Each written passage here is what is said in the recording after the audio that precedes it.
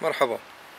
اليوم رجعنا لكم بفيديو بدي اشرح لكم عن موتور ال TSI في كثير سائل عن موتور ال TSI شو وضعه من ناحية اعتمادية من ناحية آه، أعطال من ناحية جودة آه، وسرعة وتوفير.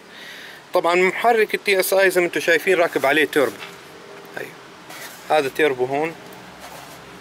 راكب عليه تربو صغير.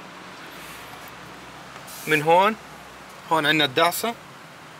تبعته وهون عندنا ال exhaust والثلاجة. طبعا المحرك ليش سموه TSI لأنه في turbo. ال turbo بيوفر معنا بالمدينة وبيعطينا قوة. يعني أنت لما تكون ماشي شوي شوي بالمدينة آه آه ما السيارة ما بتعتاز التيربو إلا على الإقلاع. أو آه، لما بدك مثلا تطلع على Autobahn للتسارع. بالوضع الطبيعي السيارة بتمشي على المحرك بشكل كلاسيكي.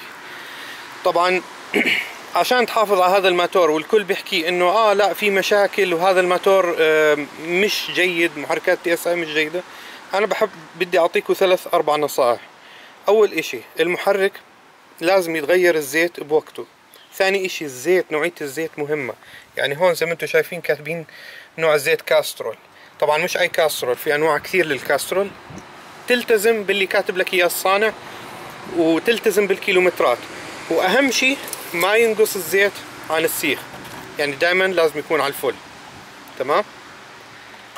زائد الصبح لما تيجي تشغل السيارة أه بدنا نحكي لازم نحمي بس مش نحمي زي زمان. أيام ما كان سيارة كربوريتر بتشغل وبتطول لتشتغل تستنى فيها عشان تحمى لا بتشغل تستنى دقيقة شوي وهي السيارة واقفة.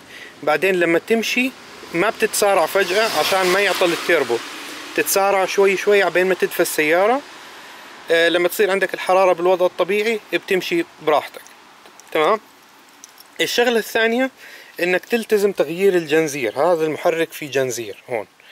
الجنزير بالعادة بتغير على 200 ألف لأغلب السيارات. هسا في بال بالجيل الأول محركات TSI كان في مشكلة بالجنزير إنه هذا طبعا عطل المصنعي كان فترة آه، لكن آه، صلحوها بال بالأجيال اللي بعدها الثاني والثالث والرابع هسه صار في عندنا محركات TSI 1000 cc صغيرة و1004 وفي برضو على الاودي محركات أكبر من هيك TSI طبعا هاي المحركات للتذكير هي محركات آه، حقن مباشر.